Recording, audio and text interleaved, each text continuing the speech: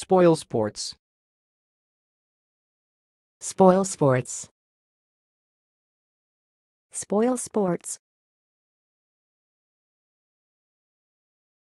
Thanks for watching. Please subscribe to our videos on YouTube.